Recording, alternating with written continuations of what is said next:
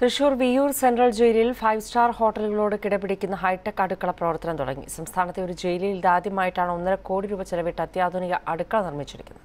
വിയു central ജയിലിൽ ആകെ എണ്ണൂറ്റി നാൽപ്പത് തടവുകാരാണുള്ളത്. ഇവർക്ക് രണ്ടു നേരം വേണ്ടത് മുന്നൂറ്റി അൻപത് കിലോ അരിയാണ്. ഇത് പാകം ചെയ്യാനോ മണിക്കൂറുകളും വേണം. എന്നാൽ ഇപ്പോൾ അരമണിക്കൂറിനകം മുഴുവൻ പേർക്കുമുള്ള ചോറ് തയ്യാർ.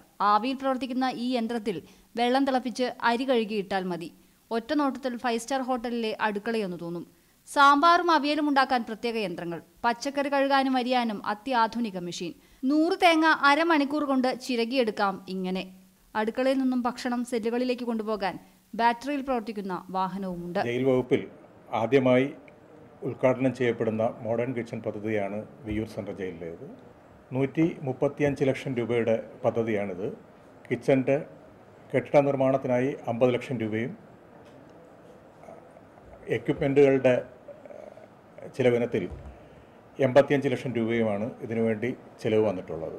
മാനുവലായിട്ട് പാചകം ചെയ്യുന്നതിനകത്ത് വരുന്ന സമയനഷ്ടവും അതുപോലെ തന്നെ വൃത്തിയും പുതിയ പദ്ധതി കൊണ്ട് കൂടുതൽ മെച്ചപ്പെടുത്താൻ കഴിയും. നേരത്തെ മുപ്പത്തിമൂന്ന് തടവുകാർ രാപ്പകലില്ലാതെ പണിയെടുത്താണ് ഭക്ഷണം തയ്യാറാക്കിയിരുന്നത്.